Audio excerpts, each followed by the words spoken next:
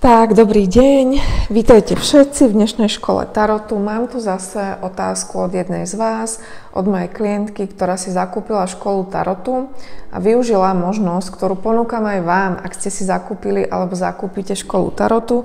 Môžete ma pokojne kontaktovať s otázkou, ktorú chcete, aby som pre vás vyložila týchto vlastne praktických príkladoch. Áno, funguje to tak, že vy si pomyslíte doma nejakú otázku, vyberiete si 5 kariet alebo prípadne viacej, tie karty odfotíte alebo mi aspoň napíšete, aké karty ste si vybrali a ja to potom vlastne spracujem takto do videa, kde sa my všetci spolu budeme snažiť nájsť odpoveď na tú otázku. Čiže dnešná otázka znie, čo ku mne cíti, áno, to je klasická otázka.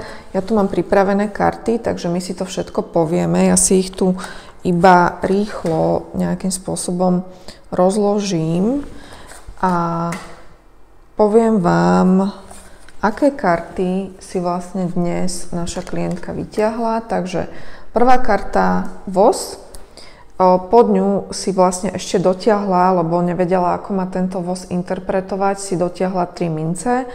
Ďalšia karta páža pohárov, tretia karta páža mečov, potom máme diabla a potom to zakončujeme kartou páža palíc. Čiže otázka znie, čo ku mne cíti, osoba, na ktorú myslím, tento človek, momentálne nie sú spolu, ale teda ju zaujíma, čo k nej cíti. Verím tomu, že Názvy tých kariet dám aj do popisku pod toto video, aby ste teda si to ešte vedeli lepšie pozrieť a teda budem rada, ak mi do komentárov a samozrejme aj tejto našej klientke napíšete, čo si vy myslíte, čo k nej ten človek cíti. Áno? Tuto samozrejme budem rada, ak napíšete akýkoľvek názor, čo vás z toho napadá.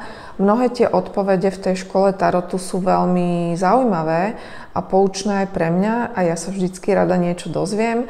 Čiže potom ja si to zhruba za 2-3 dní od vydania toho videa prečítam a samozrejme ja tam potom pripínam na vrch tých komentárov aj svoju odpoveď, čo si ja teda o tom myslím alebo čo si ja v tomto prípade myslím, že ten človek k našej alebo k mojej klientke cíti. Tak, dobre, týmto by som to ukončila. Ja vám teda ďakujem veľmi pekne. Samozrejme, nezabúdajte, škola Tarotu Poďme sa spolu naučiť vykladať tarotové karty, je tu stále pre vás, čiže kto má chuť, je to viac ako 5 hodín videí.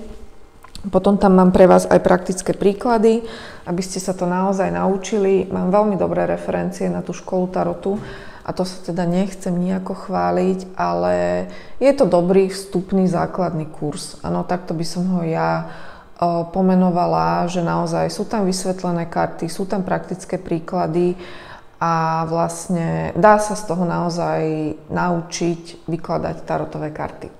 Samozrejme, ale treba vždy veľa trénovať a preto tu máme potom aj túto školu, školu tarotu takto online na YouTube.